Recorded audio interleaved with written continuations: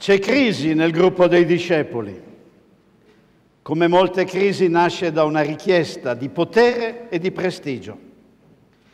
Giacomo e Giovanni hanno chiesto di essere considerati i primi, dopo Gesù, quando lui avrà vinto.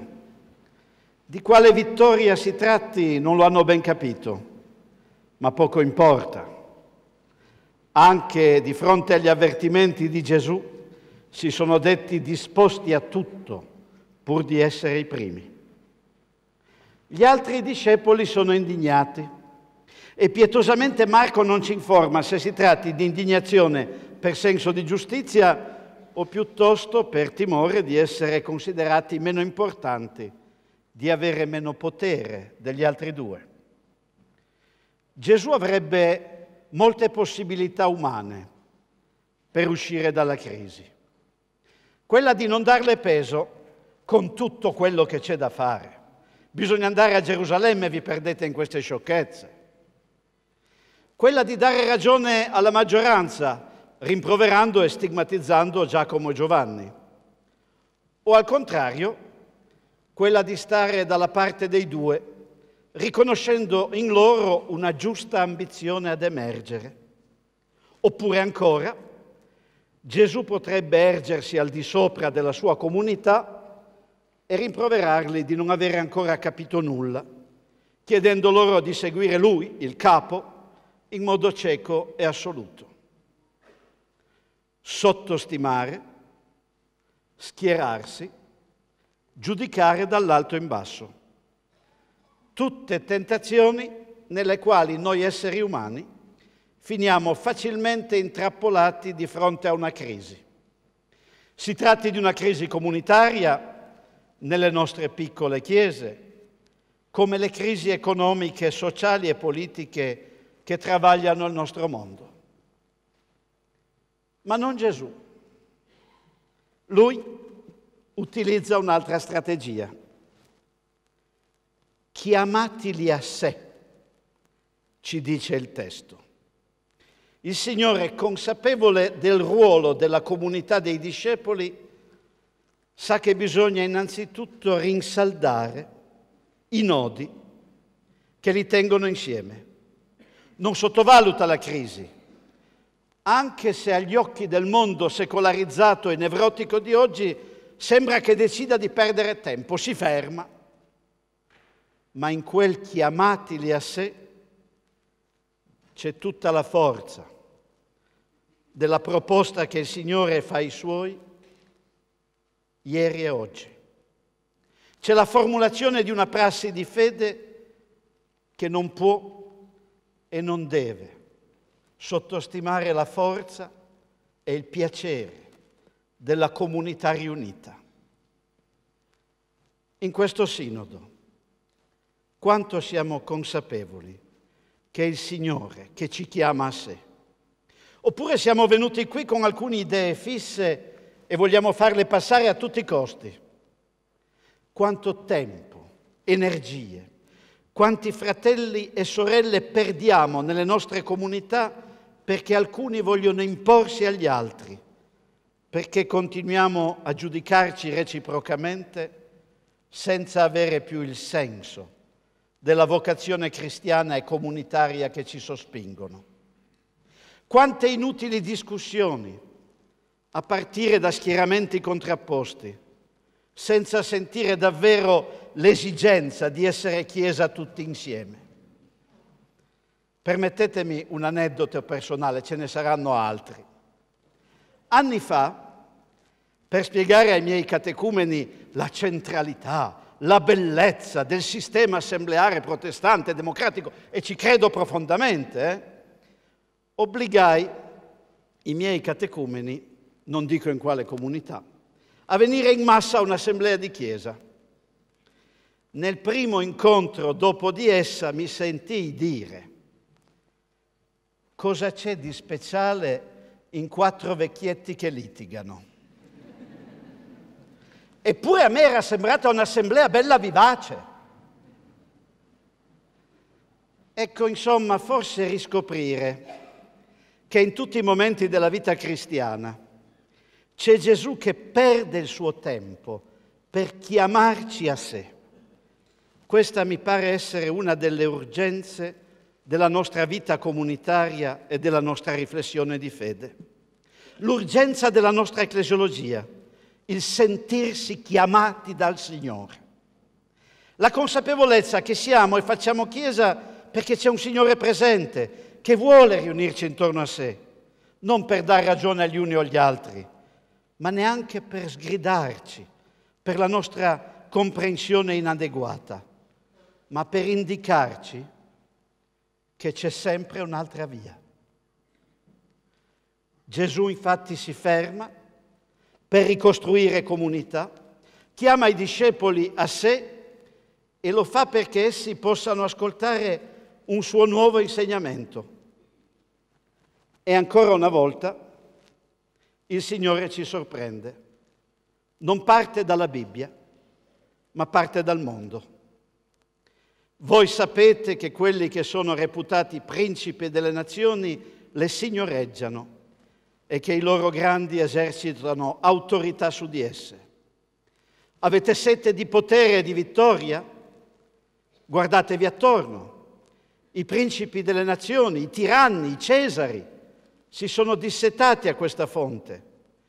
Voi sapete a quale prezzo questo sia accaduto. Guardatevi attorno e vedrete le conseguenze di questa brama sulle persone e sui popoli.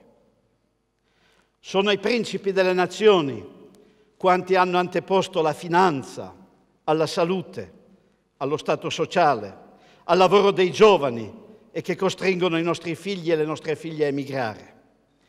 Sono i principi delle nazioni quelli che nel nome di Dio vogliono imporre la loro religione agli altri con terrorismo e violenza. Sono i principi delle nazioni, quanti vogliono continuare a dominare sui più deboli, a discriminare le donne, a distruggere l'ecosistema nel nome di un progresso sociale che non arriva mai. Sono i principi delle nazioni, dice Gesù. E voi li volete imitare? Straordinario Gesù ha il coraggio di denunciare i mali del mondo facendo vedere ai discepoli che ne sono corresponsabili, perché quanto vogliono è nella stessa direzione di ciò che spesso criticano e dicono di rifiutare. Perché a denunciare le cose che non vanno, a prendercela coi politici, coi superiori, con la tavola, a cercare le responsabilità altrui, siamo tutti bravi campioni nella condanna del prossimo e nell'autoassoluzione. Nel mondo la ricerca del colpevole, del capo espiatorio a tutti i costi sta persino diventando un business che ingolfa i tribunali di cause. Gesù si rivolge a quanti fanno parte del suo gruppo e dice loro, e lo dice anche a noi, è questo che voi volete? Giudicare senza giudicarvi? E guardate che lo abbiamo assunto, io a nome vostro, dieci anni fa, ad Accra, insieme ai riformati di tutto il mondo, questo compito. Impegnare noi stessi, la nostra fede, le nostre chiese, affinché ciascuno e ciascuna senta la sua responsabilità nell'affermare una maggiore giustizia ecologica ed economica sulla terra. Oppure continuare a cadere nella spirale del finto moralismo per cui a sbagliare è sempre l'altro e io sono a posto anche quando faccio le stesse cose? No, continua Gesù, non è così fra voi. Attenzione perché qui c'è la piccola chiave di una grande speranza. Gesù non dice non sarà così fra voi. Oppure non dovrebbe essere così fra voi. Dice, non è così fra voi, già adesso, in questo momento e in questo gruppo. E non è così perché Gesù è lì a pungolarli, a ricordar loro che un'altra strada è possibile e la stanno già percorrendo lì mentre vanno a Gerusalemme.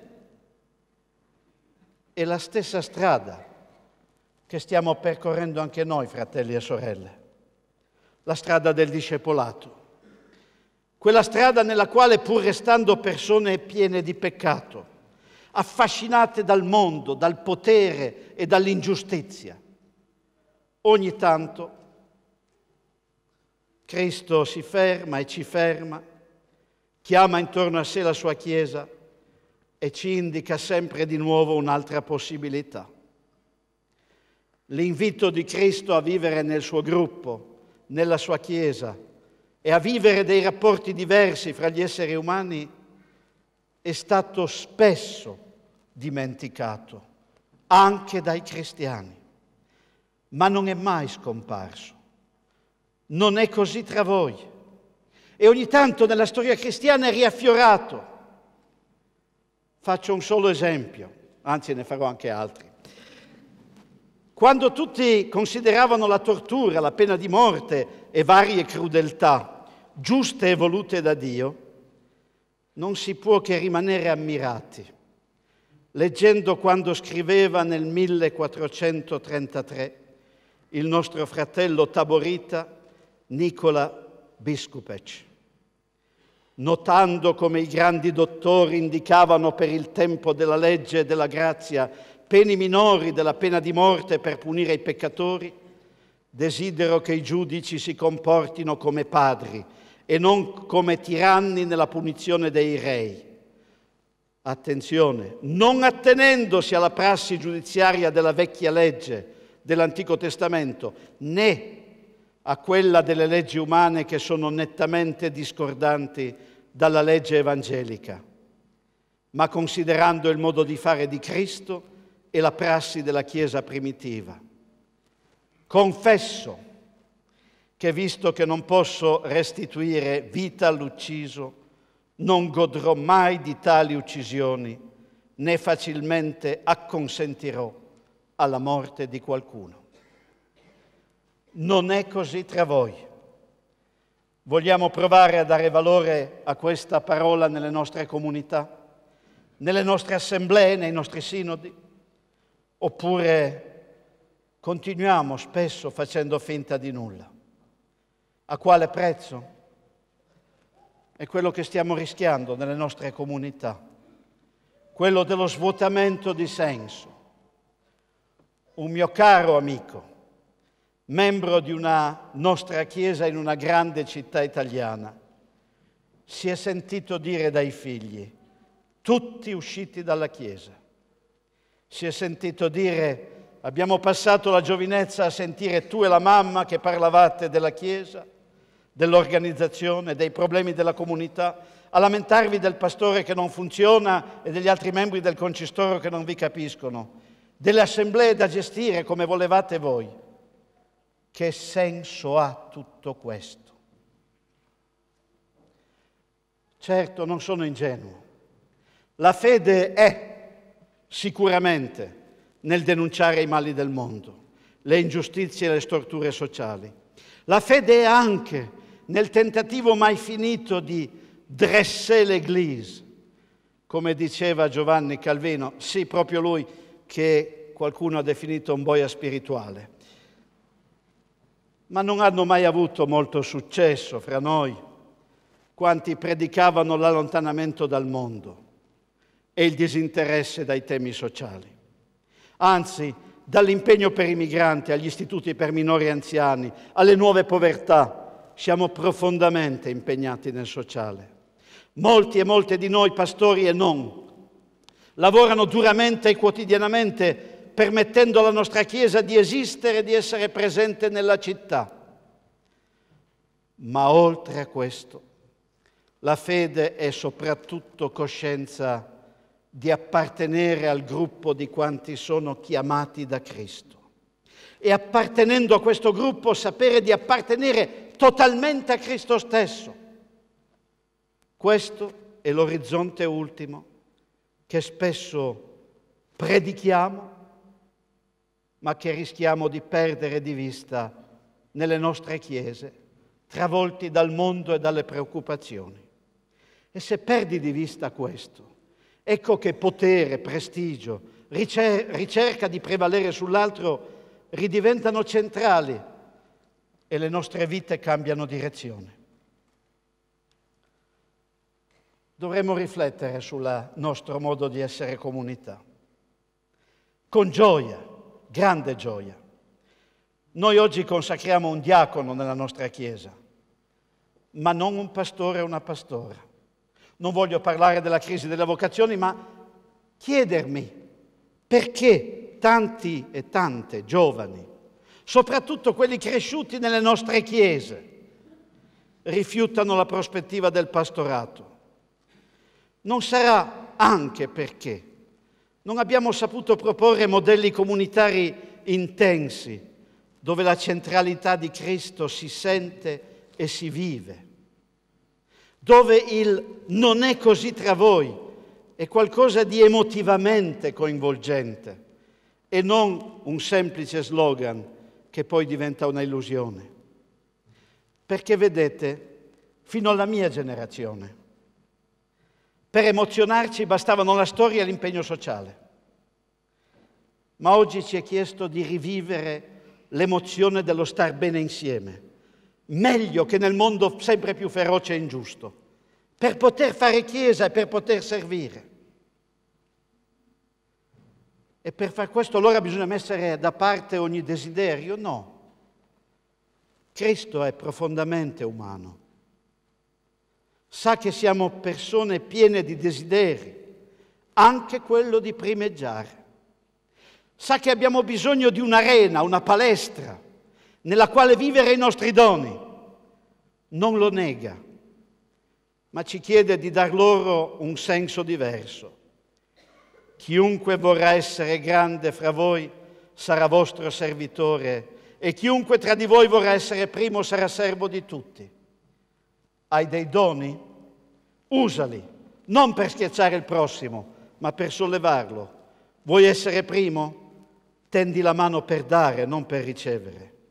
La libertà del cristiano è immensa, tanto da permettersi di criticare le regole sensate del mondo anche quelle naturali. E la più naturale di tutte è quella che il, più debole deve soccombere. No, non è nelle nostre corde e nella nostra fede. Perché vedete, i mali del mondo li conosciamo, le guerre che anche oggi ci minacciano, sono le terribili metastasi di tumori chiamati potere, prestigio, denaro. E contro di essi vi è la sola cura del servizio e della solidarietà. Oggi più che mai abbiamo bisogno di sentirci sfidati a correre la gara del servizio. Come cristiani di nuovo siamo stati spesso ai margini di questa gara. Ma qualche voce, alle volte nella storia cristiana, qualche voce anche flebile, si è spesso levata per ricordarci che questa è la volontà del Signore. Sentite, seconda citazione, poi basta. Come suona attuale questa sintesi? Se non perdoni non avrai salvezza. Nessuno deve uccidere né odiare alcuna persona. Non dobbiamo schernire lo storpio, né il sempliciotto, né il povero, né disprezzare lo straniero che viene da un altro paese, perché in questo mondo siamo tutti pellegrini, ma poiché siamo tutti fratelli, dobbiamo tutti servire Dio. Questa è la nuova legge che Gesù Cristo ha detto che dobbiamo osservare. Bella sintesi moderna. Si trova nella Domla Leison, scritta dai valdesi medievali nel 1400.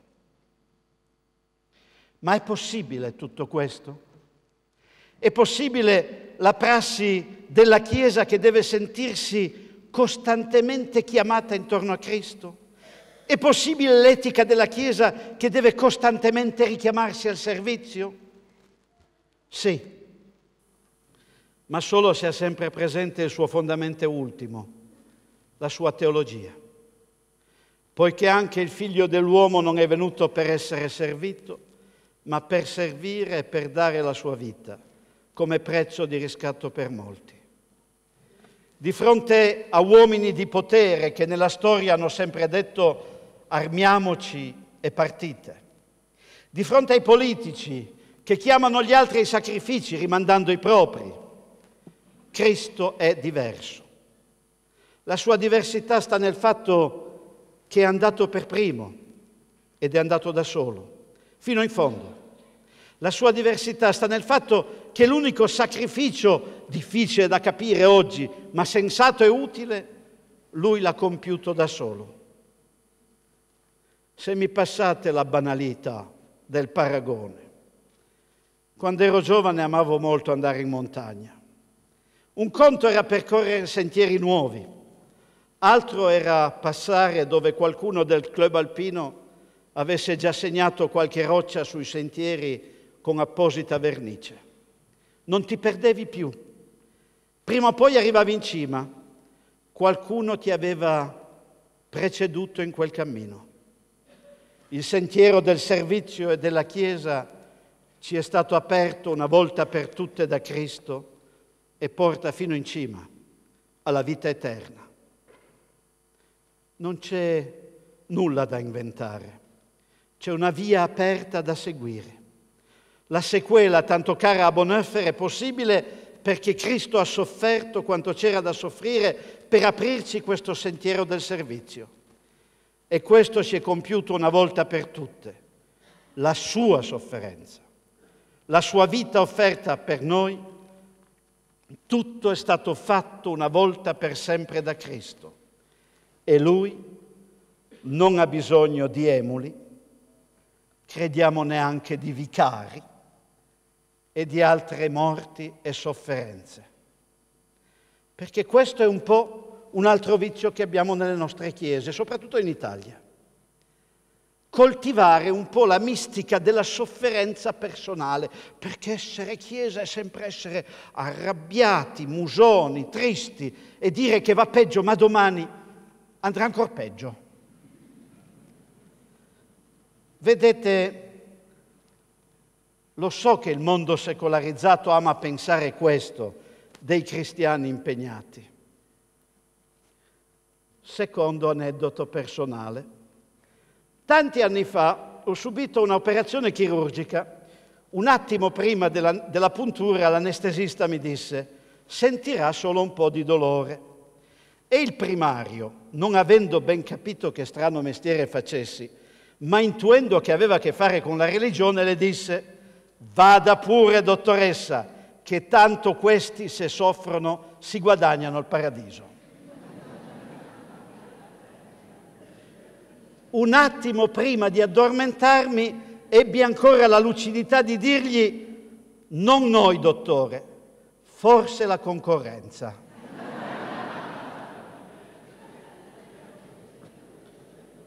Sì, sì, sì.